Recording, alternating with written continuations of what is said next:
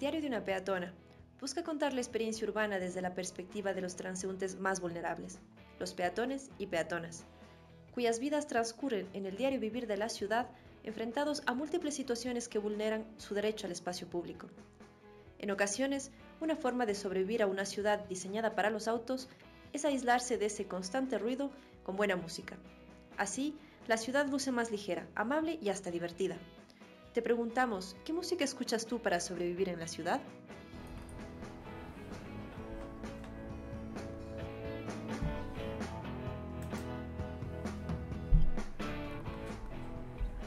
Hola amigas y amigos, bienvenidos, buenas tardes, eh, bienvenidos a este décimo programa de Diario de una Peatona. Bienvenidos también a los que se van sumando a la transmisión por Facebook Live y a los que nos escuchan por www.flaxoradio.es. Recuerden que también pueden seguirnos en redes sociales eh, para enterarse de toda la programación que ofrece nuestra radio. Estamos en Instagram, Twitter, eh, YouTube y Facebook. Hoy es un día especial. Hoy vamos a hablar sobre el Plan de Movilidad y Espacios Públicos de Cuenca, que fue elaborado en el 2015. Eh, este es un plan que fue dirigido en su momento por el ingeniero José Luis Cañabate, junto con el equipo técnico del municipio de Cuenca. Algunos de ellos creo que todavía siguen eh, en el Departamento de Movilidad. Y eh, es una tarea difícil tratar de, sintetizar un documento tan complejo, tan amplio em, y tan bien elaborado y escrito, pero quisiera, digamos, destacar eh, las ideas centrales de este plan, que a mi parecer se sintetizan en algunas palabras clave, eh, como unidades funcionales, jerarquías viales, transporte público intermodal y eh, la prioridad al peatón. Eh, pero bueno, después de contarles eh, de algún modo cómo se desarrollan estos conceptos clave de este plan de movilidad, tendremos vía telefónica al ingeniero Guillaume Chalaur, eh, eh Dourado, disculpen la pronunciación, Guillaume, me disculpas, ya me, ya me dices cómo se pronuncia, es director de gestión de movilidad de la Municipalidad de Cuenca, quien nos contará el estado legal del plan y la posibilidad de aprobación ya en este nuevo periodo de gestión municipal y de algún modo los avances también que se han venido haciendo en términos de movilidad desde la elaboración de este plan que fue en 2015 y cuyo periodo estaba pensado y planificado eh, hasta 2019. Antes de empezar, eh, quisiera agradecer también a la arquitecta Ana Torres, que espero que esté escuchando, eh, que es de la municipalidad. Ella me ha facilitado el contacto con Guillaume y estuvimos coordinando esta semana pues para, para este programa.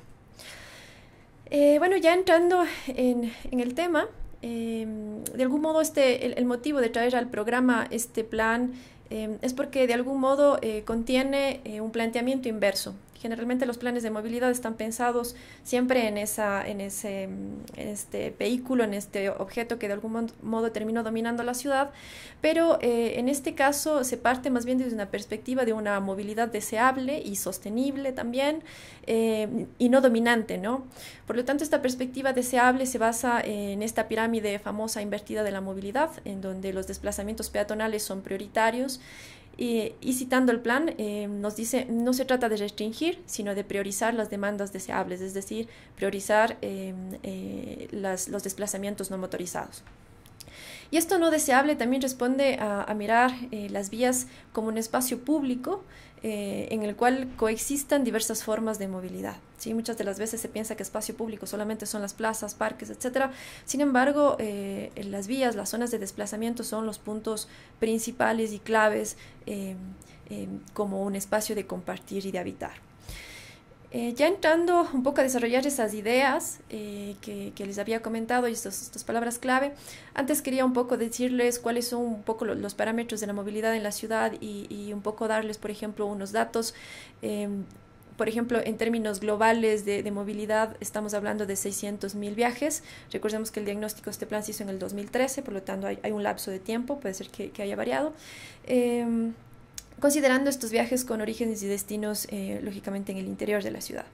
A partir de ahí eh, tenemos una, una, división de la una distribución modal de, de, esta, esta, movilidad, pues, y tenemos un 31% de estos viajes eh, son hechos a pie, otro 32% son en vehículo privado y eh, un 31% en transporte público, en este caso en bus. Luego tenemos unos, unos datos muy pequeñitos, eh, por ejemplo, motocicleta no llega al 1%, está en el 0,7%, en bicicleta el 0,2%, ¿sí? por lo tanto ya nos está contando eh, más o menos cuáles son las, las, realidades en términos de movilidad. En general, decirles también que, que hay un 31% apenas de, no motorizados, que vendría a sumar entre los de a pie y, aquellos que están en bicicleta, y casi un 70% eh, los motorizados. ¿no? Por lo tanto, estamos... Eh, en una de estas realidades eh, bastante comunes en nuestras ciudades latinoamericanas, donde el vehículo eh, es el, que domina el espacio público. Entonces, entremos de algún modo a la primera, a la primera idea que les comentaba y que es, que es importante, es clave en este, en este plan, y son eh, las unidades funcionales se plantea que eh, estas unidades funcionales se pueden traducir a las unidades barriales. De algún modo en el diagnóstico se, se detecta que eh, la unidad barrial ha perdido de algún modo esa, esa microcentralidad que, que la caracteriza cuando se crea eh, inicialmente en la ciudad y que más bien uh, se entiende como un, tejido, digamos, continuo, en donde no están tan marcadas las relaciones o las... O las um, características eh, particulares de cada una de estas unidades barriales. Por lo tanto, eh, esta primera idea de las unidades funcionales es recuperar la, la, condición de microcentralidad. En este caso, pues les comparto una imagen eh, de algún modo en donde, en donde se tienen estas, estas unidades de barrio y los ejes en amarillo, que son los ejes peatonales de la red peatonal que proponen eh, en este documento. Eh, esta idea se une directamente con la segunda, sí, que son el tema ya de las jerarquías viales. Y en estas jerarquías viales eh, nos, proponen dividirlas en tres grandes escalas. Por un lado, una red territorial, que es aquella que nos permite conectar el área urbana, el núcleo central, con las, eh, con las eh, cabeceras parroquiales. Luego tenemos una red básica, y, eh, y, finalmente tenemos una red de barrio, ¿no? que ya es aquella que estructura los, los, desplazamientos y las funciones al interior de cada una de estas unidades funcionales. Por lo tanto, eh, también eh, comentarles que, que, en realidad eh, la propuesta se basa en, en, o sea, utiliza muchos elementos que, que se trabajan en todos los planes eh, de movilidad, siempre esta idea de la jerarquía vial es fundamental, pero lo interesante de este plan es que lo vincula directamente con eh, una forma de, de, entender ese espacio en términos también para, para el peatón, ¿no? cómo esta jerarquía se va eh, prestando en diferentes escalas y en las escalas más pequeñas, en las escalas de barrio, son aquellas que están más cercanas al peatón. Entonces, eso eh, ya podemos em, ver acá eh, eh, lo que les estoy compartiendo ahora tenemos como esas tres grandes esos tres grandes tipos esas tres grandes jerarquías. La red eh, básica como ven ustedes está relacionada también con velocidades de, de, cada una de ellas y es un poco lo que les voy a contar ahora. Por ejemplo em, tenemos acá les voy a compartir otra imagen en donde tenemos ya esta distribución un poquito más, más clara. Y eh, en términos de, proporciones, por ejemplo, eh, vemos que la red de barrios va a cubrir prácticamente el 85% de kilometraje y de distribución, por lo tanto es el espacio dominante. ¿sí? Eh, si vamos a otra escala, tenemos la red básica que apenas tiene un, un 12%. Y en este siguiente mapa, por ejemplo, ustedes van a poder apreciar eh, la, um, la, cantidad, digamos, eh, dominante en términos de coloración, que son las zonas amarillas, aquellas unidades eh, de barrio. Es decir, que mucho más de la mitad de, de estos trayectos, de estas longitudes viales, están pensadas para eh, el disfrute de los, de los peatones. ¿no? Y apenas un 3% y, y un 12% de esta red básica que más bien tiene unas velocidades mucho, mucho mayores. Ya en términos, eh, un poco para darles más datos, esta red territorial tiene una longitud eh, de 40 kilómetros y está prácticamente destinada a facilitar estos movimientos motorizados intraprovinciales, un poco lo que comentábamos hace un momento. Las velocidades estaban pensadas eh, por sobre los, los 50 kilómetros por hora. En cambio, la red básica eh, tenemos 142 kilómetros y está conformada por un conjunto de vías eh, con unas velocidades que varían entre 40 y 50, sí, respectivamente. Eh, Y finalmente esta red de, barrios, como comentábamos, pues tiene el 85% de la longitud, por lo tanto estamos hablando de, de 1015 kilómetros em, em, de extensión y son de carácter local y de proximidad. Estas complementan los desplazamientos motorizados ordenando el interior de las unidades funcionales que habíamos comentado hace un momento y articulando los desplazamientos de origen y destino. Además, eh, nos permiten eh, desarrollar viajes peatonales y funcionales eh, de tipo estancial dentro del viario. ¿no? Al, tener otro tipo ya de, de, velocidades, pues nos permiten convivir con el peatón o los peatones convivir con los vehículos de mejor manera. ya un poco ampliando eh, un poco ampliando el tema de, la, de los porcentajes en el caso de las vías 50 eh, y 40, em, lógicamente por estas relaciones eh, centro que conecta con las periferias, estas tienden, digamos, ya a generar unas intensidades de tráfico motorizado más de tipo privado y eh, recomienda, se recomienda pues incrementar los, los ciclos eh, semafóricos.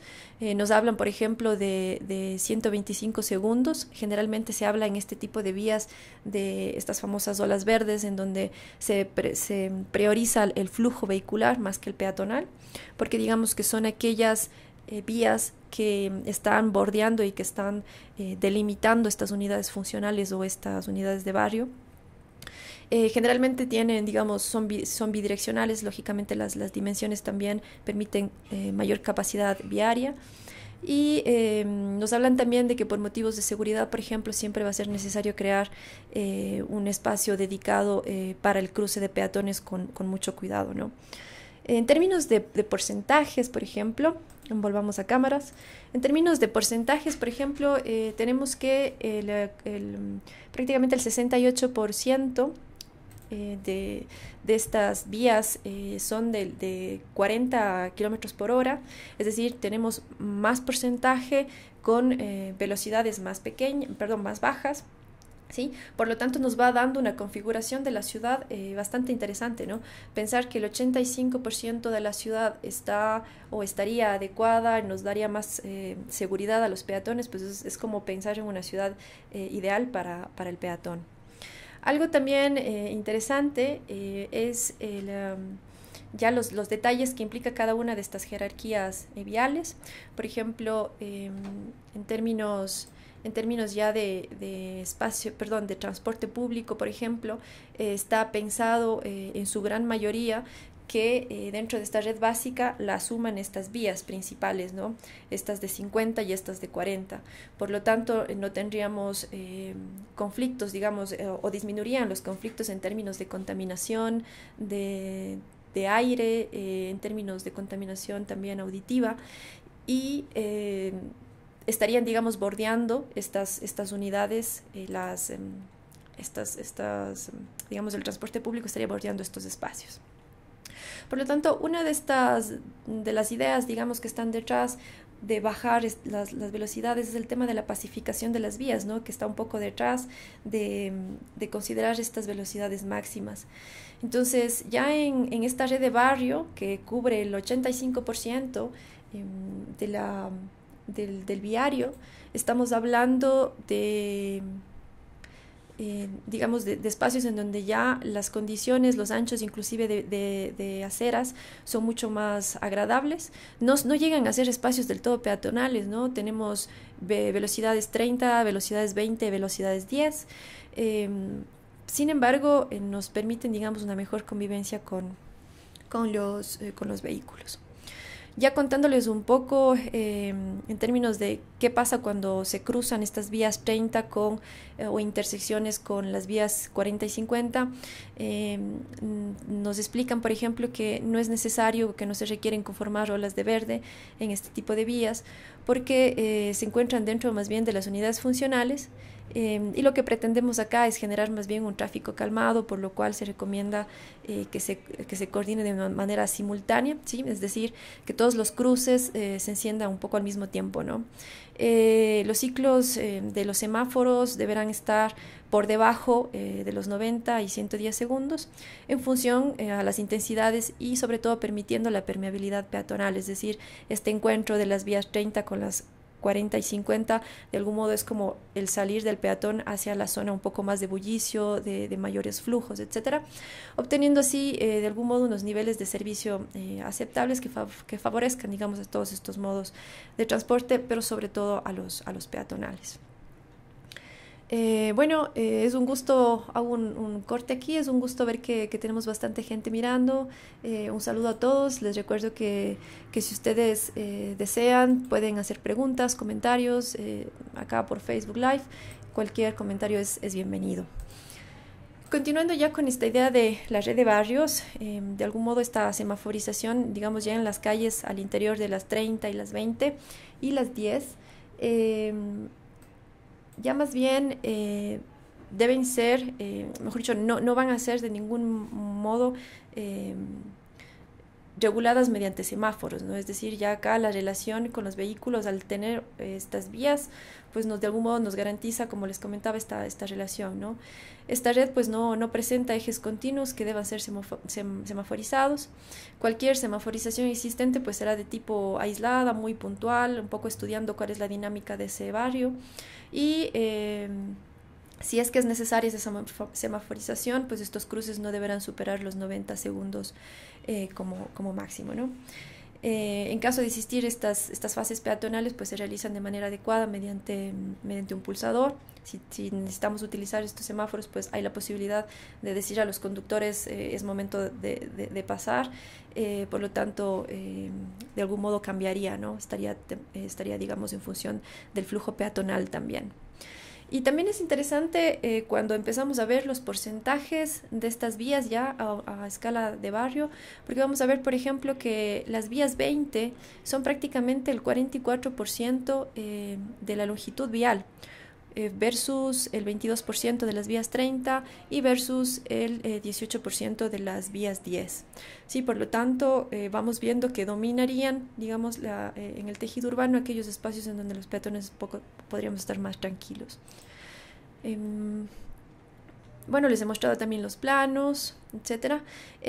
luego quisiera hablar un poquito sobre el tema del centro histórico, porque de algún modo el centro histórico es eh, es clave en el tema de la movilidad porque se identifican que es el punto al que llegan la mayoría de los flujos por temas de trabajo, por temas de, compras, etc. Y eh, el centro histórico en sí se vuelve una unidad funcional y ya analizando también los porcentajes de, estas, mm, de, estos, eh, de estos tipos de vías, sí vamos a ver que las vías 20 también son las que dominan, están prácticamente en un 40%. Les voy a compartir una imagen.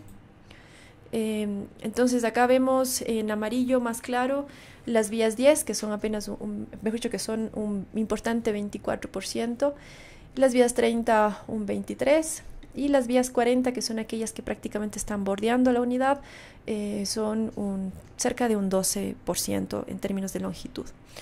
Eh, como pueden ver ustedes, alrededor del corazón de la, de la plaza del Parque Calderón, pues se van em, abriendo, digamos, estas, estos tramos en donde la velocidad eh, em, vehicular prácticamente va a la par o con un ciclista o con un peatón, ¿no? Casi todos estamos yendo a, más o menos a la misma velocidad. Em, esta, esta unidad funcional, como les decía, eh, corresponde al centro histórico, pero también de la misma manera ah, que, tenemos acá, eh, les voy a mostrar un caso, solo como para ejemplificar nuevamente eh, la zona de San Sebastián, porque el plan en sí elabora a detalle, eh, barrio por barrio, cuáles serían los tipos de vías en toda el área urbana, ¿no? Pero por cuestiones de tiempo y para invitarles también a que, a que vean este plan, les muestro un ejemplo más eh, de, cómo funcionaría, ¿no? para entender esta, este sistema funcional de la movilidad. Eh, en el caso, en cambio, de, de, San Sebastián, como pueden ustedes apreciar ahí, también tenemos un porcentaje importante de, vías 20, sí que son las que dominan, prácticamente es el 45% del total de vías de la zona. Y luego le sigue eh, las vías 30 con 27 y, y las vías 40, que prácticamente sería eh, la Avenida de las Américas, eh, ya con un, 7% ¿no? en términos de longitud. Mm, a partir de aquí, ya las relaciones que existan eh, de, estas, eh, de estas velocidades con el espacio público va a ir variando mucho en función de los usos que tengamos a, a, lo largo de estas vías, si tenemos parques, si es que tenemos viviendas, eh, etcétera, ¿no? Entonces ya un poco aquí el espacio público se va transformando de, de manera diferente.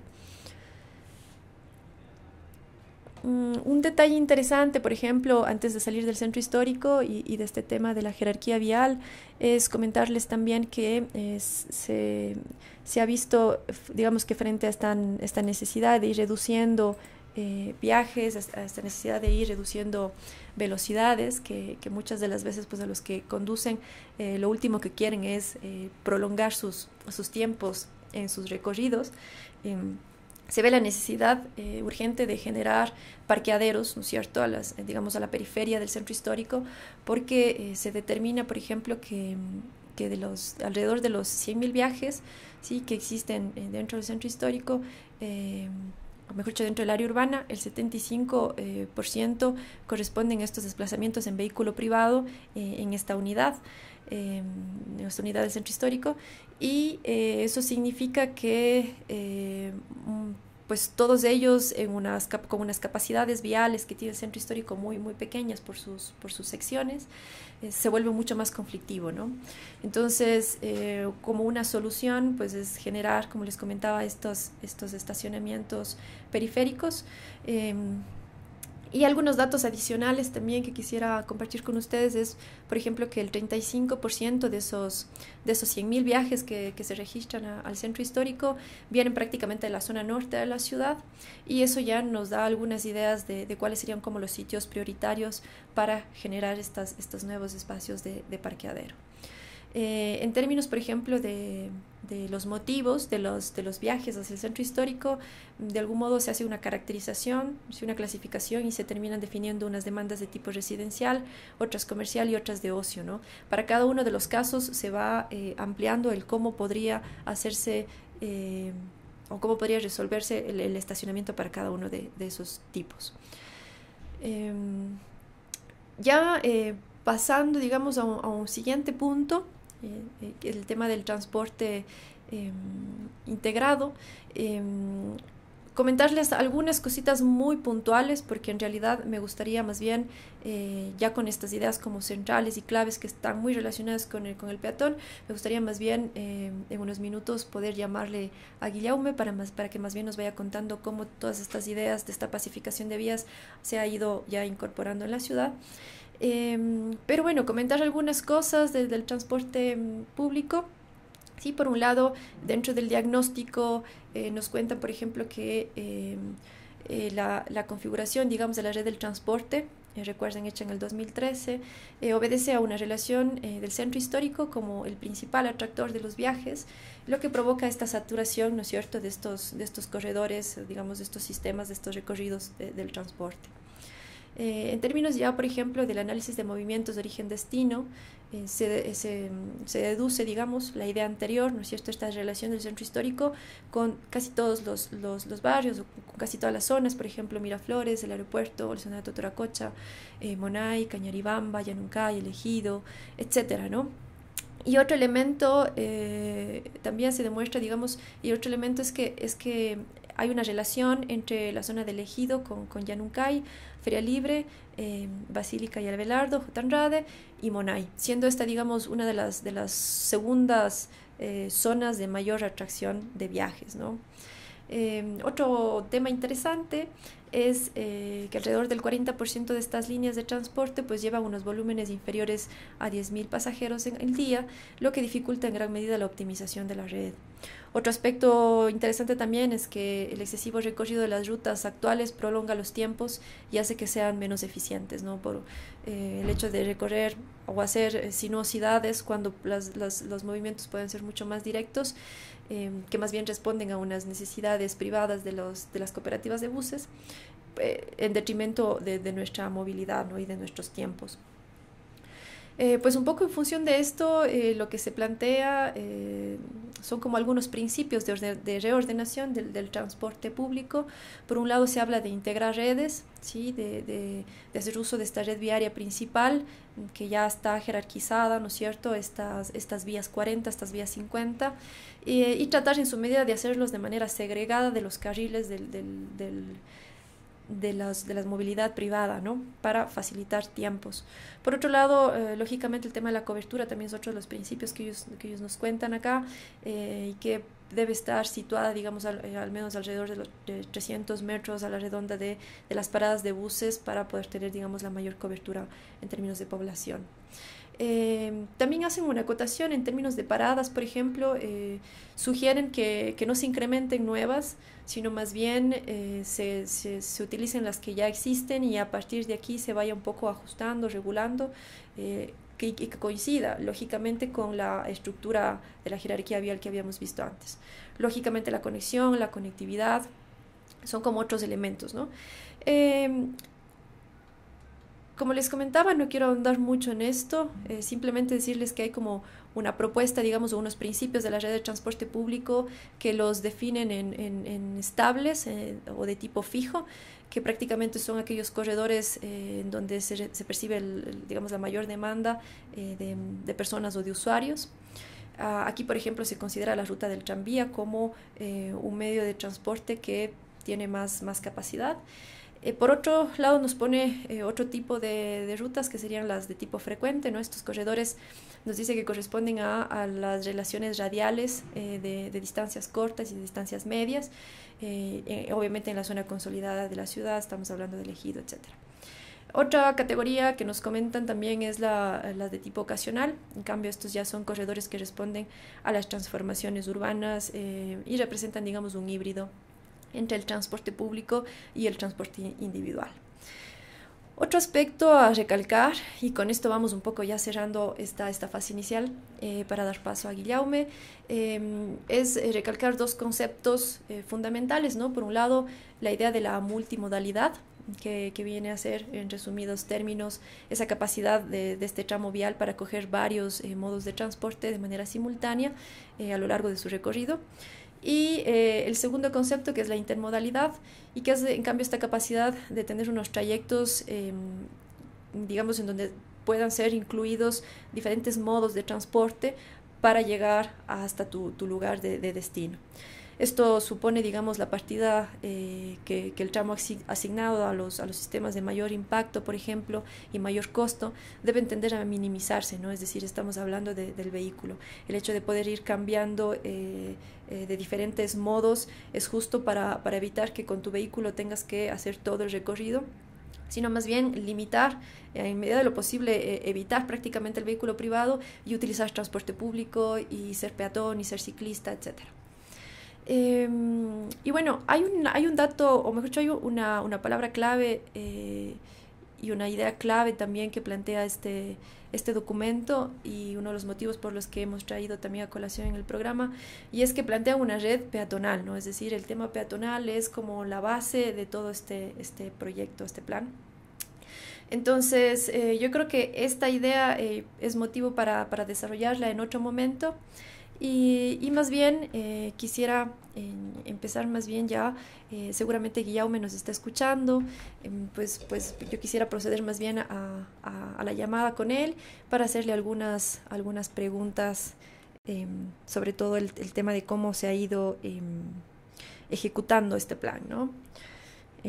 por lo tanto, vamos entonces a hacer eh, la llamada, vamos a ver que no me falle este teléfono últimamente está un poco caprichoso. Y bueno, mientras tanto, pues a toda la gente que nos va escuchando, sería chévere que nos, que nos, que nos escriban, que nos comenten. Son bienvenidos sus, sus, sus mensajes.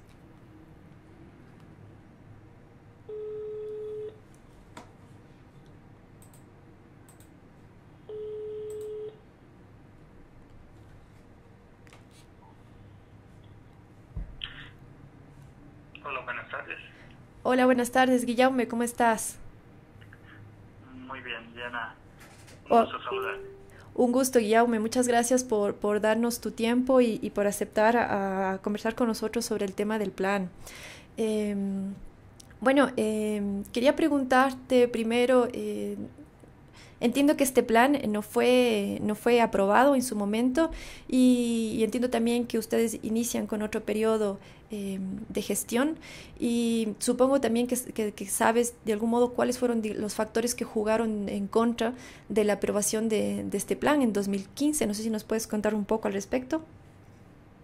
Sí, por supuesto. Eh, lo que pasó, eh, desafortunadamente, es verdad, el plan, aunque fue elaborado a largo de del año de 2014 y 2015 nunca llegó a ser eh, aprobado en Consejo Cantonal, fue a debate, pero yo creo que los principales factores que han jugado en contra del plan fue una falta de articulación política en un primer momento eh, y la otra yo creo que el, el, consenso entre las autoridades de la importancia de un plan de movilidad independiente de cualquier conflicto o diferencias que podrían haber existido entendemos también que es un plan de movilidad y espacios públicos. Entonces es un concepto más integral que involucra más eh, aspectos, más direcciones.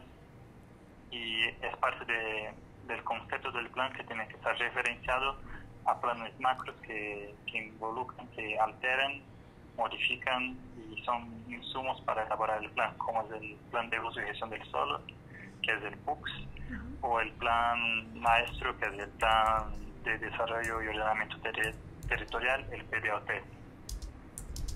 Ok, eh, se me ocurre también pensar que de algún modo esta, este nivel de complejidad eh, está relacionado también con el hecho de, hasta cierto punto peatonalizar, aunque no llega a ser esa propuesta, ¿no? sino llega a ser más bien una pacificación de vías, tal vez también está un poco detrás de ese, miedo de tener que eh, cambiar, hacer esta pirámide invertida y hacer que el peatón sea como, como el principal, ¿no? Bueno, en verdad eso es la base de todos los planes de movilidad hoy en día discutidos. No me, gustaría decir que fuera una cosa que inventamos nosotros aquí en Cuenca. el plan de, movilidad en Europa son los SAMS, Sustainable Urban Mobility Plan.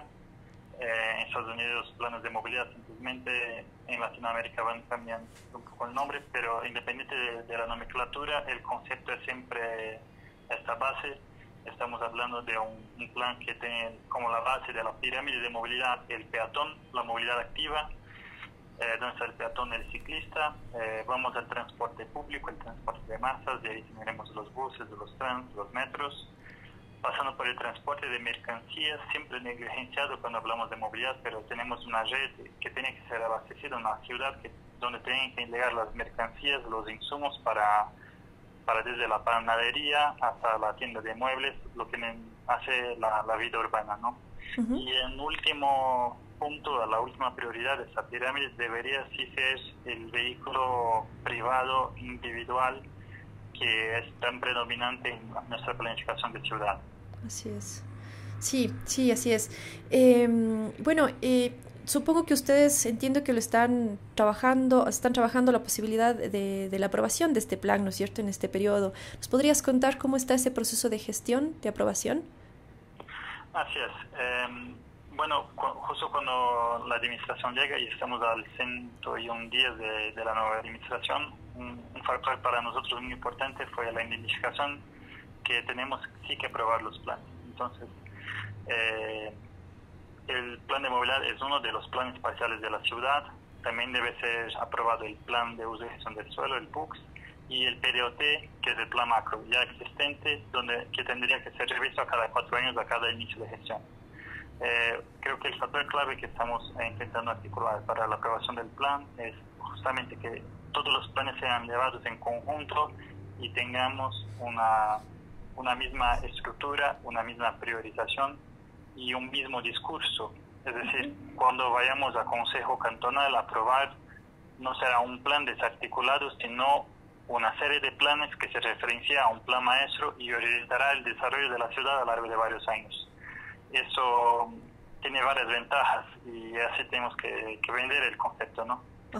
Independiente si yo, Guillermo, estoy aquí hoy, hoy, o si será otro director, o si será personas que llegarán a la siguiente gestión, tenemos una línea maestra para seguir, tenemos un, horizonte, tenemos directrices claras de dónde debería caminar la ciudad. Entonces sacamos tanto el factor personal y damos una idea de, de, estructura, una idea que es del municipio que ha decidido en conjunto con varios actores. También es bueno recalcar el plan de movilidad, como cualquier otro, no es un plan eh, elaborado por técnicos, hecho por técnicos con consideraciones técnicas, sino un plan donde involucremos varios actores de la sociedad, de la academia, de, otras dependencias del municipio que tienen hasta poco que ver, estamos hablando de direcciones de eh, social, de, planificación, todos que pueden aportar al plan. Entonces es un consenso el plan, es un es un diálogo y no una, una herramienta impuesta y extremadamente rígida, sino una oportunidad de desarrollo estructurado para la ciudad. Eh, muchas gracias, Guillermo. Suena muy bien realmente lo que dices, porque eh, generalmente una de las cosas que pasan es que viene un nuevo periodo y muchos de, las, de los esfuerzos eh, quedan un poco truncados, ¿no? Entonces, si se tiene esta visión, realmente creo que estamos, estamos muy bien, ¿no? un poco avanzando con, con, las inquietudes que teníamos, no sé si tienen tal vez alguna fecha prevista en la cual estos planes ustedes proyecten que ya puedan estar aprobados. ¿Hay alguna idea de, ese, de esas fechas?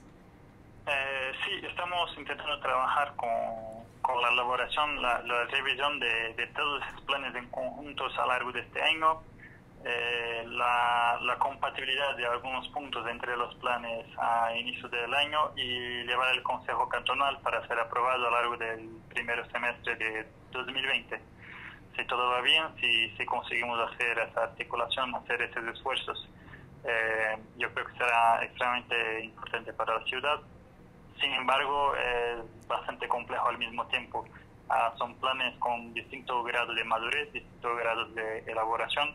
El nuestro en particular que estamos comentando hoy, el plan de movilidad, eh, justamente es un plan ya hecho que nos deja una muy buena base, al mismo tiempo que tenemos datos que son desactualizados y elementos de, movilidad que eh, eran difíciles de discutir en aquel entonces. Podemos hablar de eso en en el sentido del tranvía, de la micromovilidad que, que, empieza a consolidarse en otras ciudades, como es la patineta eléctrica, eh, elementos de, de, car sharing que también ya están consolidados hasta en ciudades europeas, ciudades americanas y asiáticas, mientras que aquí no tenemos aún esa apertura y no estaba ni contemplado en el plan y podremos entonces tener esta oportunidad de rever estos datos, rever estos conceptos y verificar cómo podríamos hacer esta actualización incorporación para generar un plan aún más robusto de lo que podría haber sido. Así es. Eh, pero tengo entendido también eh, que, que, a pesar de que no se aprobó, de algún modo ya hubo unos proyectos, algunas cuestiones que ya se habían puesto en práctica. ¿Es verdad esto? Y, si es verdad, ¿cuáles fueron? Bueno, lógicamente el tranvía, perdona, pero... sí, aunque el plan no, no se ha aprobado, fue un esfuerzo tan grande involucrando tantas personas que se debería de verdad un desperdicio no, no ser tomado en cuenta al menos para algunos proyectos, algunas políticas, mismo sin esta, este potencial de, ejecución que, que, llevaría a un plan aprobado. ¿no? Una de las partes que fueron sí eh, implementadas fue la bici pública, la bicicleta compartida de la ciudad, eh, realizada a inicios de este año, la pacificación de tráfico con la implementación de zonas 30 y 20 en, algunos, en algunas partes de la ciudad, enfocando principalmente en la parte de entornos escolares y una plataforma única de movilidad en, en parte del eje tranviario del centro donde tengo la compatibilidad entre el peatón y mismo una misma plataforma con el tranvía por las velocidades más bajas. Además también tenemos alguna serie de estudios que estaban ya contemplados en el plan y fueron estudiadas pero no implementadas. Estamos hablando de del principio de esa microred peatonal en el centro, eh, estudios para integración urbana, mm, ciclovías que son una circunvalación al suroeste y noroeste de la ciudad, eh, y otros elementos que ya nos dejaban indicados del plan y que seguiremos desarrollando un poco más. Ok, es decir, ya hay un trabajo hecho, ¿no? Y, eso es muy interesante. Eh, Paso a una siguiente pregunta, una, una pregunta muy interesante, eh, muy importante, digamos, que es el funcionamiento del tranvía. ¿En qué fecha se prevé ya el funcionamiento y, cuál ha sido la decisión al respecto de la tarifa, que ha sido uno de los conflictos, digamos, que ha estado alrededor del de, tranvía? La pregunta de un millón de dólares. Exacto. Eh, sí, el tranvía es un tema bastante complejo en el sentido que yo creo que todos que estábamos afuera de la administración, al ver la marcha en blanco que, ha generado la, administración anterior, teníamos la expectativa que ya empezaría el tranvía muy prontamente. Sin embargo, cuando llegamos a, la administración, hemos visto que los conductores no tenían eh, los permisos de, conducción, es decir, la misma cosa que yo abro una compañía de taxis, pero no todos mis taxistas no tenían la, el carnet de conducir. Eh, fue esa la realidad que nos encontramos. Los trenes no estaban homologados por la, Agencia Nacional, es decir, no estaban reconocidos como medios de transporte para generar un servicio y una serie de que eran claves, eh, los planes de mantenimiento, que son contratos de millones de dólares y garantiza la, seguridad, la, operatividad del tren, no estaban hechos ni empezados entonces, todos esos factores han sumados para que sea sería imposible el inicio del tranvía a corto plazo. Francamente, la fecha no es una cosa que se pueda precisar porque están ahora con un cronograma la unidad eh, ejecutora del tranvía con más de 600 actividades.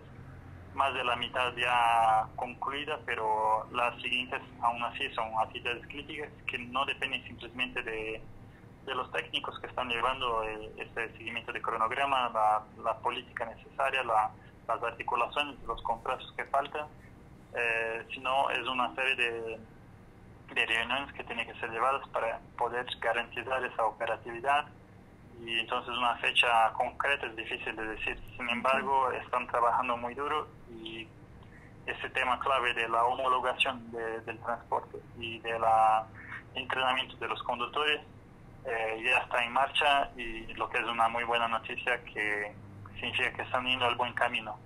Eh, esperemos de verdad que con un poco más de, tiempo podamos tener el tranvía, que es un elemento de transporte masivo, el único en la ciudad, el único en el cantón, una referencia mismo a nivel nacional de transporte masivo.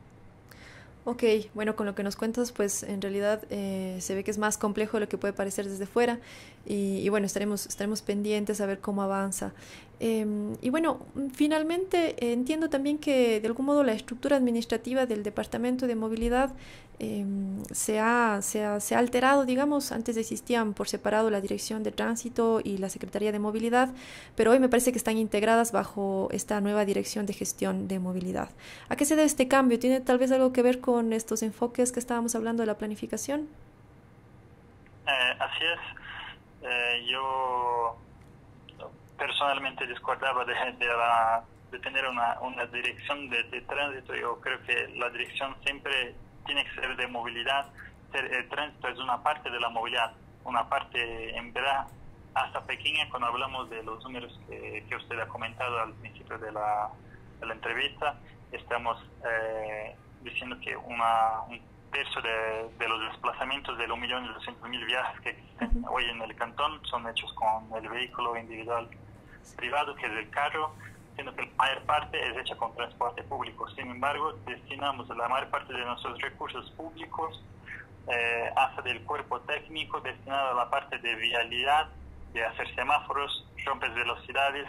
Eh, es una ciudad planificada para carros y ahí nos, nos sorprende al descubrir que Cuenca tiene una tasa de motorización eh, de alrededor de los carros por cada mil habitantes, mientras que la media nacional es casi la mitad de eso. Cuenca entonces eh, tiene una tasa de motorización muchísimo superior mismo a Guayaquil o Quito.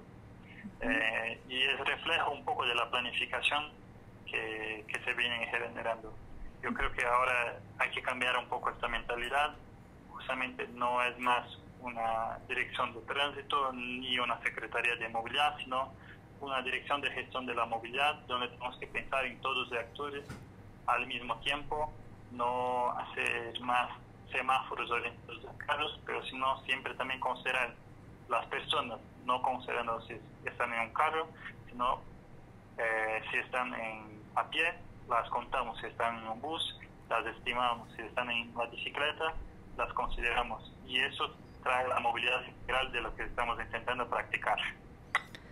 Eh, Guillermo, eh, un gusto realmente eh, eh, haberte eh, podido contactar, conversar contigo. Realmente es, muy, es nos, nos, llena de alegría, muy sincera, desde el programa de Diario de una Peatona, pues que, que, que, se estén haciendo este tipo de cosas ¿no? ya en la ciudad. Eh, yo te comento desde Quito, eh, acá siempre la, la, dinámica de la ciudad y, la, y sobre todo la, eh, la, dimensión de la ciudad, yo creo que es un reto mucho más grande para las administraciones y, y hay muchos conflictos, ¿no? Pero, pero me parece muy interesante que, que, a pesar de que estos planes ya se han venido planteando hace muchos años atrás, pero que acá todavía no se han puesto en práctica y que nos cuesta todavía mucho ponerlos en práctica. Pero escucharte pues me da mucha alegría y, y bueno, agradecerte una vez más por, por, por tu tiempo y por tu disponibilidad. Eh... No, un gusto mío de, de, estar aquí en el programa y poder contribuir un poco en esa discusión que creo que siempre hace falta. Muchísimas gracias, Guillermo. Eh, te agradezco mucho eh, y bueno, nos estamos contactando en una próxima vez. Muchísimas gracias, Diana. Eh, solo quería aprovechar y Dime. agradecer entonces uh, su tiempo para, para la entrevista, agradecer la, la arquitecta Annalisa Torres por también articular esa entrevista y comentar, aprovechando este espacio, sobre la Semana de, de, la Movilidad que haremos desde Cuenca. Somos una, uno de los 10 municipios en toda Latinoamérica que está involucrado en, esta Semana Mundial de Movilidad, donde haremos eh, cierres de, la calle y haremos justamente el inicio que, de la entrevista donde se hablaba de apropiarse del espacio público y repensar los conceptos de movilidad. Entonces, aprovecho para divulgar que los actores de la sociedad se involucren en esa iniciativa y que ocupemos la calle de la mejor manera posible, todos con orden, pero pensando en la nueva movilidad que queremos proponer. Muchas gracias, Guillermo. Eh, creo que podemos ayudar a, hacer una, una difusión, eh, igual en las redes. Eh, ya nos comunicamos por interno para un poco para, para ampliar y estaremos muy pendientes de todo este proceso. Felicidades y, y, y muchísimas gracias entonces. Muchas gracias. Un abrazo. Igual, chao. Eh, bueno, eh, amigas y amigos, eh, como acaban de escuchar, acabamos de hablar con el ingeniero Guillerme. se me han pasado a dar sus, sus datos y su currículum, realmente tiene una experiencia bastante larga. Solamente para, para, para, que tengan una idea, pues es ingeniero civil por la Universidad de Sao Paulo en Brasil, tiene un máster en transporte, movilidad y cadena de suministros por la Universidad Politécnica de Cataluña, tres años de experiencia en construcción civil en Sao Paulo dos años de experiencia en movilidad e innovación en Barcelona, tanto en la empresa pública como privada, eh, director de, de, bueno, en este caso ya de la, de la de, director de, la Dirección de Gestión de Movilidad y actualmente es el responsable eh, de planificar la movilidad en la ciudad. Entonces, eh, bueno, ha sido un gusto, ha sido un placer, muchas gracias una vez más. Y bueno, es interesante, estaremos muy pendientes de lo que nos comenta eh, con respecto a esta Semana de la Movilidad y también eh, decirles que está pendiente también un poco ampliar esta idea de la red eh, peatonal que, que, se plantea en este mismo documento. Y, y nada, agradecerles eh, su, su, su, el hecho de estar atrás escuchándonos, atrás de la pantalla. Una buena tarde y hasta el próximo programa. Gracias.